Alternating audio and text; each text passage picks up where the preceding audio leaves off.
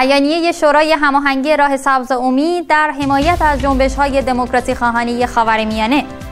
تا دقایقی دیگر با اخبار سهشنبه 16 فروردین ماه 1390 از رسانه سبز ایران رسا با ما همراه باشید.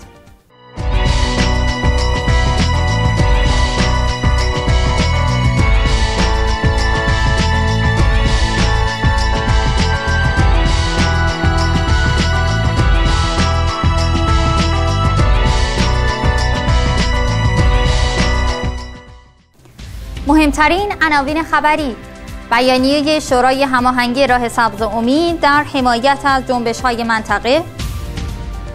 بی احترامی به قرآن محکوم و قتل نفس مزموم است. اقتدارگرایان حاکم از این اعمال غیرانسانی توبه کنند. و تاکید عبدالعلی بازرگان بر ساختگی منتاج شده و فاقد اعتبار بودن مصاحبه ایرنا با دکتر ابراهیم یزدی. سلام و شب بخیر میگیم به شما بینندگان محترم شبکه رسا رسانه سبز ایران. خوشحالیم که امشب هم با اخبار 16 فروردین ماه 1390 همراه شما هستیم. من هم عرض سلام و شب بخیر دارم خدمت شما بینندگان محترم. با ما همراه باشید با این بخش خبری. اولین خبر امشب ما مربوط میشه به ششمین بیانیه شورای هماهنگی راه سبز امید در همبستگی با جنبش های منطقه. بله شورای هماهنگی راه سبز امید جنبش های منطقه اعلام همبستگی کرده و گفته تعیین سرنوشت یک حق بشری جهانی است. شورای هماهنگی راه سبز امید در ششمین بیانیه خود به موضوع جنبش های دموکراسی خواهانی خاورمیانه پرداخته است و در بیانیه مذکور ضمن حمایت از این جنبش ها خاطر نشان کرده که حکومت های استبدادی در عکس عملی مشترک و کلیشه‌ای و با استفاده وسیع از رسانه های دولتی جنبش های دموکراسی خواهی کشور خود را فتنگر و وابسته به قدرت های خارجی معرفی کردند و تلاش می کنند که با سازماندهی عناصری از نیروهای نظامی و شبه نظامی و لباس شخصی بویژه اجیر کردن ارازل و اوباش به عنوان تظاهرات خودجوش مردمی در دفاع از رژیم های استبدادی نسبت به سرکوب جنبش های اعتراضی کشورشان اقدام کنند.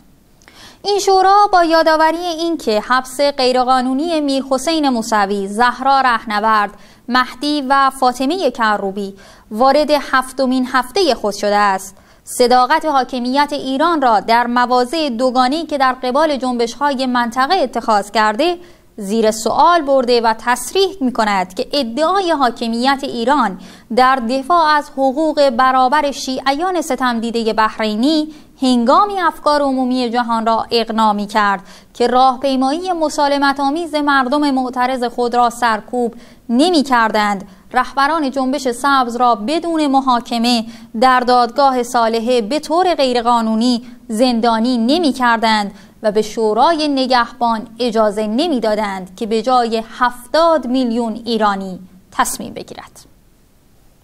آیت الله بیات زنجانی گفت بی احترامی به قرآن محکوم و قتل نفس مزموم است. در ادامه محکومیت قرآنسوزی و واکنش نسبت به حد که حرمت کتاب مقدس مسلمانان جهان آیت الله اسد اسدالله بیات زنجانی از مراجع تقلید نیز با صدور اطلاعیه‌ای بی احترامی و حد حرمت به همه کتب آسمانی اما از قرآن کریم انجیل و تورات را محکوم دانست و با بیان اینکه قتل نفس مضمومترین اعمال در پیشگاه الهی است و به شدت در نزد اغلای عالم محکوم است و به ای نحوکان باید با مسبب آن برخورد شود تاکید کرد. قتل های واقع شده در برابر حد که حرمت قرآن کریم در برخی نقاط از جامعه مسلمین هم به نوعی تحجر در برابر عمل متحجرانه آن بیحرمتی است. به گزارش پایگاه اطلاع رسانی این مرجع شیعه وی در اطلاعیه خود خاطر نشان می سازد دنیای امروز دنیای گفتگو و اقلانیت است و دیگر نمی‌توان در برابر فکر و اندیشه ایستادگی کرد و حتی با قل و زنجیر حسر و حبس یا به آتش کشیدن و حس در برابر عقل و اقلانیت ایستادگی کرد و هر شخص و جریانی که در طور تاریخ تلاش کرده با این موضوعات به تقابل بپردازد چه حکومت بوده باشد و چه فرد محکوم به فنا است. سازمان مجاهدین انقلاب اسلامی در بیانیه اختار داد اقتدارگرایان از این اعمال غیر انسانی توبه کنند. سازمان مجاهدین انقلاب اسلامی ایران با صدور ای در اعتراض به جلوگیری از برگزاری مراسم ختم پدر مهندس موسوی جلوگیری از برگزاری این مراسم را یک اقدام غیر انسانی و نشانه جدیدی از روند استحاله جمهوری اسلامی ایران که بر اساس آرمان آزادی و جمهوریت بنا شده بود دانست. در این بیانیه مجاهدین انقلاب ضمن محکوم کردن ضرب و و دستگیری شرکت کنندگان در مراسم تشییع پیکر مرحوم میر اسماعیل موسوی و ممانعت از برگزاری مراسم ختم آن مرحوم به اقتدار گرایان حاکم توصیه کرد که از تحولات و وقایع جاری منطقه عبرت بگیرند و تا دیر نشده از این اقدامات بیهوده و نسنجیده که فقط بر نفرت و انزجار عمومی از ایشان میافزاید و سقوط و فروپاشی را نزدیک می کند دست بردارند و با ترجیح مصالح ملی بر منافع قدرت و امید به بزرگواری ملت از اعمال غیر انسانی خود توبه کنند و یقین داشته باشند که خداوند در کمین ستمکاران است. عبدالعلی بازرگان گفت مصاحبه اینا با دکتر یزدی ساختگی منتاج شده و فاقد اعتبار است. مهندس عبدالعلی بازرگان از اعضای شورای مرکزی نهضت آزادی مصاحبه منتشر شده توسط ایرنا خبرگزاری رسمی جمهوری اسلامی را ساختگی و منتاج شده و فاقد اعتبار ارزیابی کرد. دوشنبه 15 فروردین ماه خبرگزاری رسمی جمهوری اسلامی ایرنا متن گفتگویی با دکتر ابراهیم یزدی دبیر کل نهضت آزادی ایران را منتشر کرد و مدعی شد این مصاحبه در روز آخر اسفند ماه گذشته انجام شده است. مهندس بازرگان در گفتگو با جرس با بیان اینکه اعتبار این گونه مصاحبه های ساختگی و منتاج شده از بازجویی ها همانقدر است که مصاحبه های تلویزیونی با اسیران جنبش سبز در رادیو تلویزیون جمهوری اسلامی اعتبار دارد تصریح کرده. این مصاحبه تماما مصرف داخلی دارد و برای توجیه طرفداران خودشان است. وگرنه مردم آگاه ما با این دروغگویی های دولتی آشنا هستند. این عضو ارشد نهزت آزادی با اشاره به ادعای ایرنا مبنی بر استعفای دکتر یزدی از دبیرکل نهزت آزادی به دلیل ضعف جسمی می‌پرسد مگر برای حزبی که ماهاست به اجبار و تهدید تمام فعالیتهایش را به تعطیلی کشاندند امکان نفس کشیدنی گذاشتند که دبیر کلش را خسته کند. استعفای دبیر کل یک حزب در شرایط آزاد به شورای مرکزی آن حزب تقدیم می گردد نه به بازجویان و خبرنگاران اطلاعاتی. بازرگان تاکید کرد این مصاحبه توجیه دروغ یک خطی قبلی این خبرگزاری در استعفای دکتر یزدی می باشد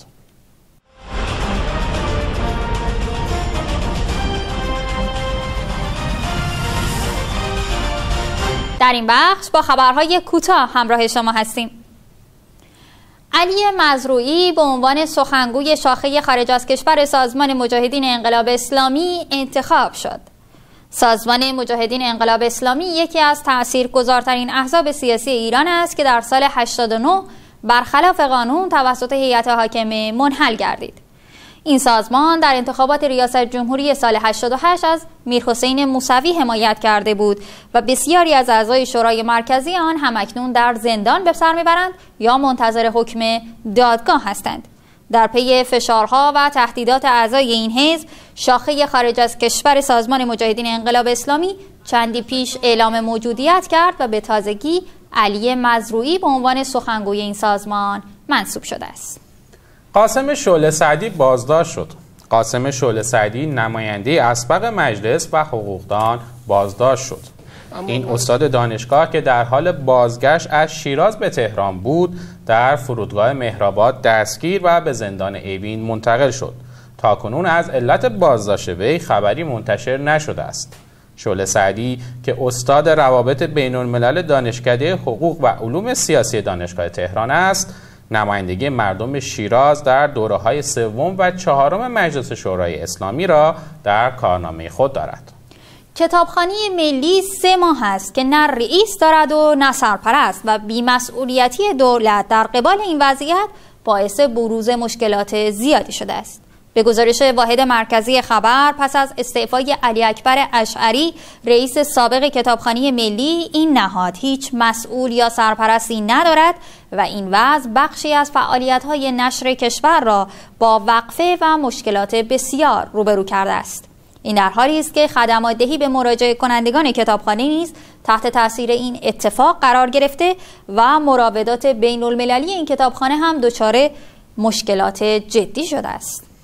دکتر محمد شریف از دانشگاه آزاد شد دکتر محمد شریف وکیل برجسته دادگستری و استاد حقوق دانشکده حقوق و علوم سیاسی دانشگاه علامه طباطبایی در اولین روز بازگشایی دانشگاه ها در سال 90 از دانشگاه علامه طباطبایی اخراج شد.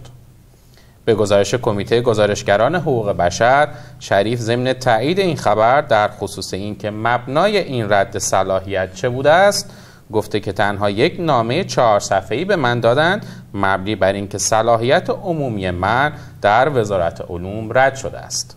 محمد شریف که وکالت بسیاری از زندانیان سیاسی بعد از انتخابات را بر عهده داشته است انشای نامه دانشگاه را مشابه همان نامه دانست که برای دکتر مردی ها دیگر استاد اخراجی دانشگاه علامه طباطبایی صادر شده است. خواهر مهدی گلرو تاکید کرد که علیرغم فشارها مهدی محکم و مقاوم ایستاده است. خواهر مهدی گلرو نایب دبیر انجمن اسلامی دانشگاه علامه و عضو شورای دفاع از حق تحصیل که در آذر 88 بازداشت شده بود در گفتگو با وبسایت جرس با بیان اینکه ملاقات و مرخصی حق مسلم زندانیان سیاسی است گفته که این دومین عیدی است که مهدی پیش ما نیست و در این مدت هم نه تنها نتوانسته از حق مرخصی استفاده کند بلکه ملاقات حضوری هم فقط سه بار داشته است. مهدی گلرو تابستان گذشته به اتهام تبلیغ علیه نظام و تجمع و تبانی به قصد برهم زدن امنیت ملی به دو سال و چهار ماه حبس تعذیری محکوم شده است. زندانیان سیاسی به زندان اوین بازگشتند. زندانیان سیاسی که پیش از عید نوروز به مرخصی چند روزه نوروزی آمده بودند به زندان اوین بازگشتند به گزارش رهانا، میلاد اسدی، علی جمالی، محمد علی داشاب، رضا رجبی، فرید تاهری، محمد رضا مقیسه و حمزه کرمی از زندانیان سیاسی بودند که روز یک شنبه در پی اتمام دوره مرخصی به زندان اوین بازگشتند. یادآور می شود محسن امینزاده، فیض الله عرب سرخی، عبدالله رمضانزاده و محسن میردامادی نیز بدون اینکه مدت مرخصی آنها به اتمام برسد طی احضار ناگهانی ظهر پنجشنبه 11 فروردین ماه رهسپار زندان ایوین شدند.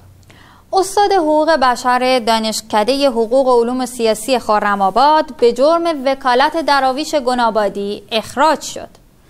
احسان الله هیدری وکیل پای یک دادگستری و عضو تمام وقت و رسمی هیئت علمی دانشکده حقوق و علوم سیاسی دانشگاه آزاد اسلامی واحد خرم‌آباد به دستور وزارت اطلاعات اخراج شد.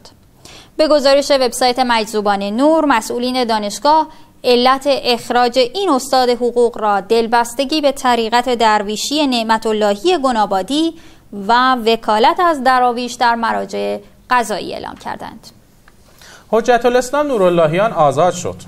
به گزارش تحول سبز بعد از بازداشت حجت الاسلام نوراللهیان در روز پنجشنبه در مراسم تشییع پیکر میر اسماعیل موسوی صبح روز دوشنبه با موافقت مراجع قضایی و پس از انجام بازجویی های اولیه قرار بازداشت موقت ایشان شکسته و با صدور قرار وسیقه برای وی موافقت گردید.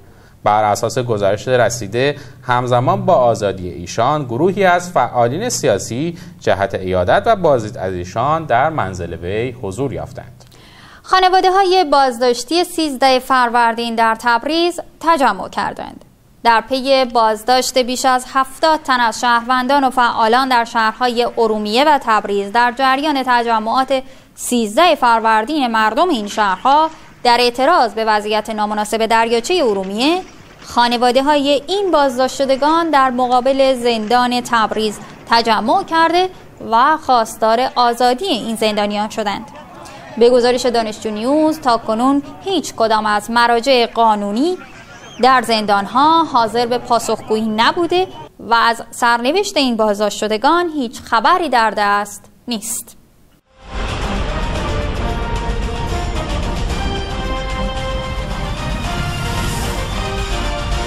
و در ادامه اخبار اجرای بیتنازل کافی نیست. به اصلاح قانون اساسی هم نیاز داریم.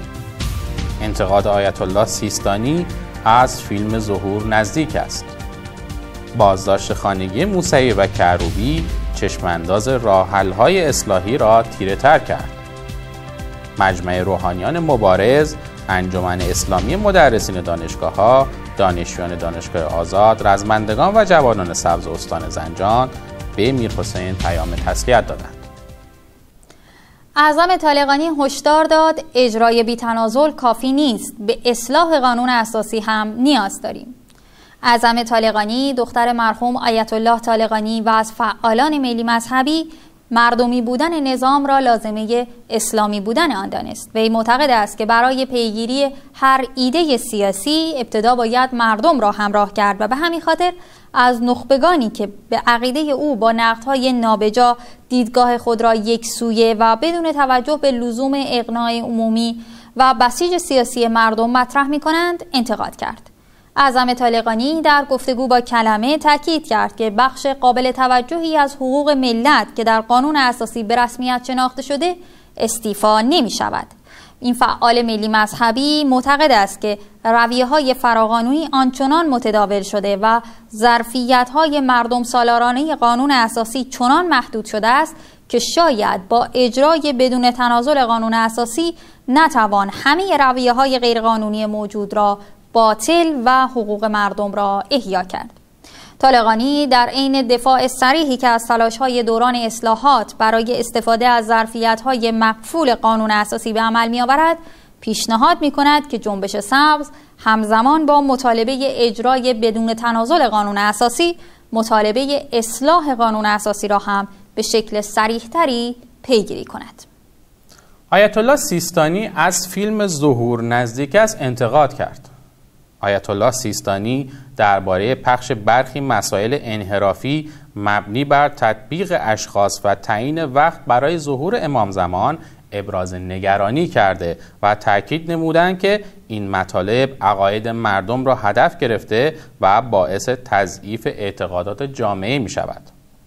به گزارش مرکز خبر حوزه نجم الدین تبسی استاد درس خارج کلام اسلامی و محدویت حوزه علمیه دقدقه ها، ابراز نگرانی ها و انتقادات آیت الله سیستانی در خصوص مباحث مطروحه درباره محتویت به ویژه فیلم مستند ظهور بسیار نزدیک رست را شهر داده است. بیانیه تحلیلی زندانیان سیاسی بازداشت خانگی موسوی و کروبی چشمانداز راه حل‌های اصلاحی را تیره تر کرد. جمعی از زندانیان سیاسی کشور به مناسبت سال نو پیامی خطاب به مردم ایران نوشتند. امضا کنندگان این بیانیه تحلیلی اکنون در زندانهای اوین، رجای شهر کرج و زندانهای استان خوزستان به سر می‌برند.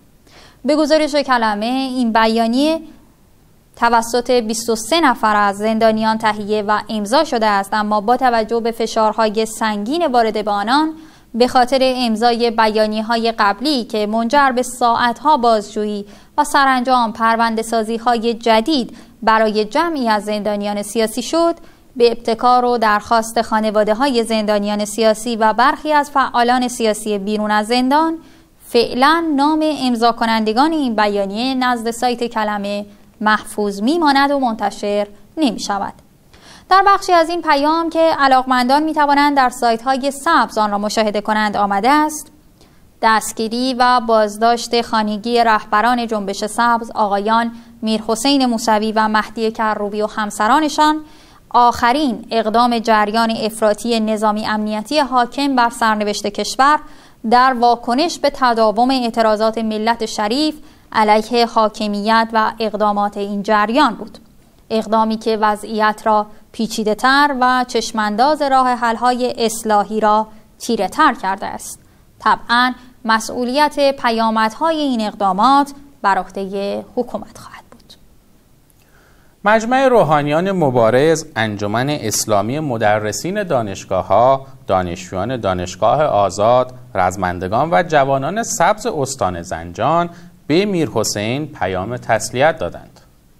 مجمع روحانیان مبارز در پیامی به مهندس میرحسین موسوی درگذشت پدر بزرگوار ایشان سید اسماعیل موسوی را تسلیت گفته و تاکید کردند آن مرحوم حق بزرگی بر همه مردم این مرز و بوم داشت چرا که فرزندی در دامان خود تربیت کرد که در هشت سال دوران دفاع مقدس از هیچ تلاشی برای اداره هرچه بهتر کشور فروگذار نکرد و مردم ایران همواره آن خدمات ارزنده را پاس داشته و خواهند داشت همچنین انجمن اسلامی مدرسین دانشگاه ها در پیام تسلیتی به میر حسین موسوی از عدم برگزاری مراسم ترهیم میر اسماعیل موسوی ابراز تأسف کردند.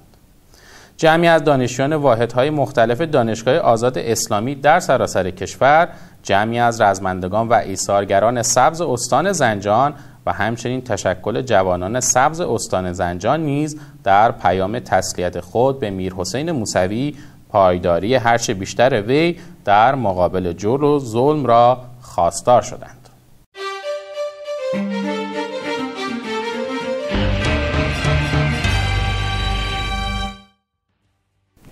چندی پیش شاخه برومرزی سازمان مجاهدین انقلاب اسلامی اعلام موجودیت کرده بود. به تازگی هم سخنگوی این شاخه برون مرزی آقای مزروی انتخاب شده. با جناب آقای مزرویی عضو جبهه مشارکت ایران اسلامی و عضو سازمان مجاهدین انقلاب اسلامی و رئیس انجمن سنفی روزنامه نگاران گفتگویی داشتیم که با هم میشنویم. در بیستم بهمن ماه سال گذشته بیانیه‌ای با امضای شاخه برون مرزی سازمان مجاهدین انقلاب اسلامی منتشر شد که توجه ناظران سیاسی را جلب کرد. شما به عنوان سخنگوی سازمان مجاهدین انقلاب در خارج از ایران چه توضیحی در مورد ضرورت تشکیل شاخه برون مرزی این سازمان دارید؟ همطور که در جریان هستید در سال گذشته در ایران تلاش شد که فعالیت تشکل های سیاسی مثل سازمان مجاهدین انقلاب اسلامی و جبهه مشارکت رو متوقف کنند و در این مسیر حتی به برگزاری یک دادگاه غیر علنی بدون اطلاع این تشکل ها اقدام کردن و بعدم حکمی رو در روزنامه ایران انتشار دادن که فعالیت این تشکل ها منحل شده. و علاوه بر اون فشارهای خیلی زیادی رو روی دوستان ما در ایران آوردن بیشتر اعضای موثر این دو تشکل هم در زندان بودن و اونهایی که بیرون بودن تحت شرایط سختی سر بردن. به هر حال مجموعه شرایط باعث شد که برای اینکه ادامه فعالیت خودشون رو زنده نگه دارن درباره این فکر کنن که دوستانی که وابسته به این تشکل هستن در خارج کشور هستن برای اعلام شاخه خارج از کشور استفاده کنند تا از این طریق بتونن صدای خودشون رو به گوش دیگران برسونن و فعالیت این تشکل رو زنده نگه دارن شاخه برون مرزی سازمان مجاهدین انقلاب در کوتاه مدت و دراز مدت انجام چه فعالیت هایی رو در خارج از ایران در دستور کار داره؟ طبیعی است که در کوتاه مدت تلاش خواهد کرد که در رابطه با فعالیت های درون کشور و جنبش سبز مواضع و دیدگاه های سازمان رو منتشر بکنه و در واقع زنده بودن این تشکر رو در مسیر فعالیتش حفظ کنه. در دراز مدت من فکر می‌کنم که باید به این فکر کرد که بیس فعالیت های این تشکل در داخل هست و می‌تونه همراه و همگام با اونها در خارج فعالیت کنه. آقای مزروی شما قبل از ترک کشور از اعضای شناخته شده جبهه مشارکت در ایران بودین. انتخاب شما به عنوان سخنگوی سازمان مجاهدین انقلاب در خارج از ایران آیا به این معنیه که شاخه برون مرزی این تشکل فقط از اعضای سابق همین سازمان تشکیل نشده؟ خدمت شما از کنم که من از سال هفتاد با دوستان سازمان مجاهدین انقلاب اسلامی کار می‌کردم و عضو این تشکل بودم. و بعدها که جبهه مشارکت تشکیل شد عضو مؤسس اون جبهه و عضو شورای مرکزی و دفتر سیاسی جبهه مشارکت هم هستم و جز چند نفری هستیم که به طور مشترک در این دو تشکل فعالیت می‌کردن مثل آقای تازاده که الان در زندان هستن. اعضایی که الان با این شاخه خارج از کشور کار می‌کنند افرادی هستند که در ایران عضو این تشکل بودند با, با این تشکل همکاری می‌کردند و در واقع کاملا ارتباط تشکیلاتی داشتن من هم به دلیل اینکه عضو این دو تشکل هستم در خارج در رابطه با این دو تشکل فعالیت می‌کنم و فکر می‌کنم دوستانی که در جریان هستن می‌دونن که من قبلا هم عضو سازمان مجاهدین انقلاب اسلامی بودم. متشکرم از وقتی که در اختیار ما گذاشتیم ممنون که امشب هم با ما همراه بودید. تا فردا شب خدا یار نگهدارتون. پیش از خدافزی یادآوری می‌کنیم که می‌تونید تفسیر خبر رو از رسها دنبال کنید. تا شبی دیگر خدا نگهدار.